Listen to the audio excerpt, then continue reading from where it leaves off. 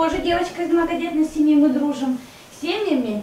Уже много лет старшие дети в одном классе учатся, вот эти в другом классе вместе. Два года назад Марина Коченкова родила долгожданную дочку. Рождение Василисы стало самой большой радостью в семье. Она третий ребенок и младшая сестра двух братьев. После рождения дочери семья Марины получила статус многодетной. Чтобы улучшить жилищные условия, семья воспользовалась ипотечным кредитованием. Мы использовали материнский федеральный капитал, и за рождение третьего ребенка еще нам принадлежит краевой капитал в размере 106 тысяч рублей.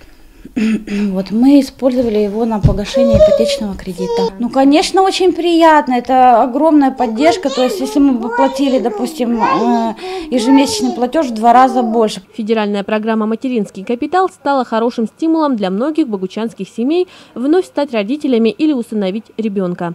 Его можно потратить на приобретение жилого помещения, образование детей или на накопительную часть пенсии мамы. Материнский капитал – это форма дополнительной поддержки семей, имеющих детей, второго и последующих детей. То есть выдается он при рождении второго ребенка, соответственно, третьего и последующих. Это форма э, поддержки федерации, поэтому это государственная поддержка идет.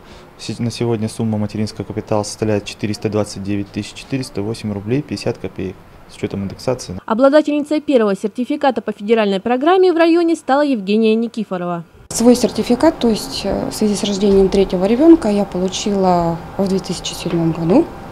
А, то есть это первый сертификат в Богучанском районе.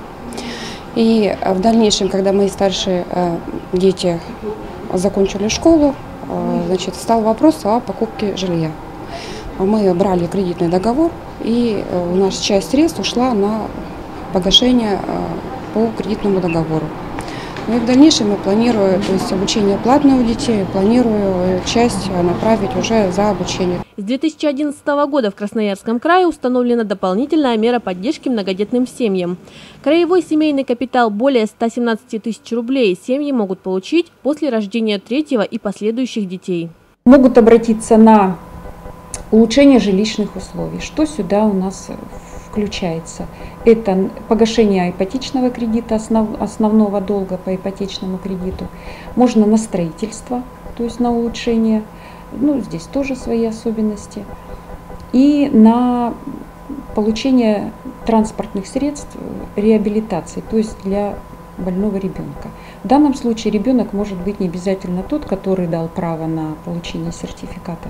Многодетная семья может получать эту помощь в виде ежегодной выплаты в размере 12 тысяч рублей.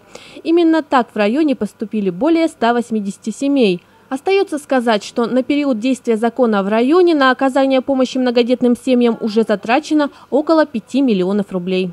Анна Смирнова, Сергей Бегишев, Александр Черкашин, телекомпания «Спектр Богучаны».